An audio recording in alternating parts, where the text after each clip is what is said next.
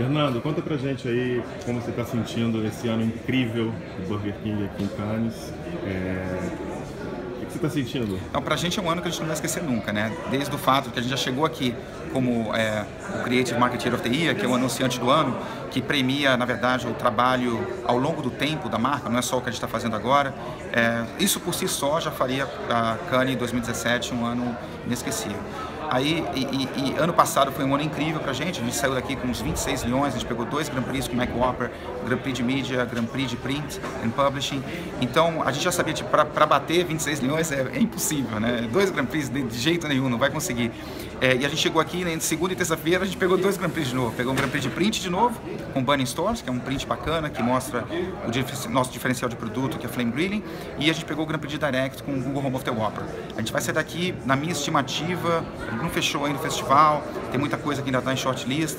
A gente deve pegar entre 25 e 30 milhões é, com o Burger King, com diferentes agências, com a David é, ganhando a maioria deles, mas com diferentes agências de diferentes países também é, sendo representados aqui, ganhando leão, que é bem bacana porque mostra que a gente tem bastante gente trabalhando na marca, querendo fazer coisa diferente e criativa. E que que você, que, como que você responderia para os que, que criticam Cannes como festival já tá, ficou meio um pouco para trás, que não é que não representa a criatividade global de uma maneira equitativa? O que, que, que você tem para Não sei, eu, eu, eu, acho assim, eu estava num júri de effectiveness, né? Era um júri super diverso, tinha duas pessoas da Índia, tinha eu, tinha uma pessoa da China, é, tinha provavelmente mais mulher do que homem, não lembro qual que era a conta.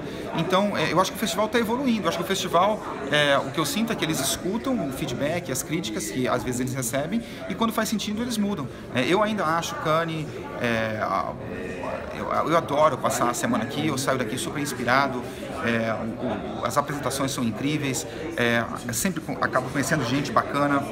Eu conheci o Anselmo da David aqui, na praia, entendeu? Num, numa festa. É, eu conheci um monte de marqueteiro bacana que, que eu troco ideia aqui.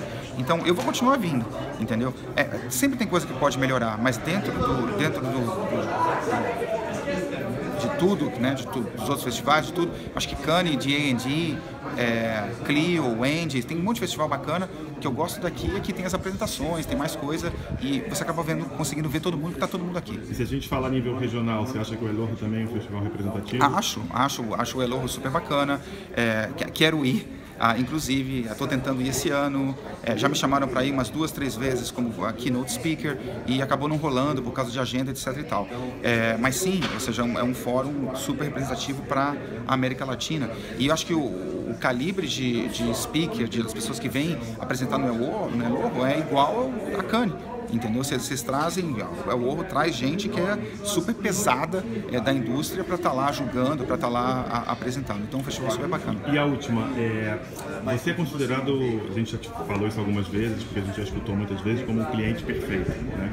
O que que, o que, como você definiria um bom cliente para o mercado publicitário hoje? O que, que então, que acho que todo, todo mundo que fala que eu sou cliente perfeito provavelmente nunca trabalhou comigo como cliente, para saber. É, não, tem, não tem nada perfeito. Eu acho que o que a gente faz é a gente tenta trabalhar como um time, entendeu? Tem um time de marca que é a gente e, e as agências é, e é um time só. E a gente sempre está um defendendo o outro, protegendo o outro, porque a gente sabe que juntos a gente consegue, de uma forma talvez mais eficaz, vender as ideias e fazer as coisas acontecerem. O tipo de ideia que a gente faz precisa disso, entendeu? Porque gera muito desconforto, nervosismo e tal. Então, se não está a agência e o cliente juntos ali, é, é difícil você fazer acontecer. Então, para mim, esse é o principal ingrediente, é a parceria né, entre a, entre o Burger King e é, as agências que a gente trabalha. Obrigado. Legal? Obrigado.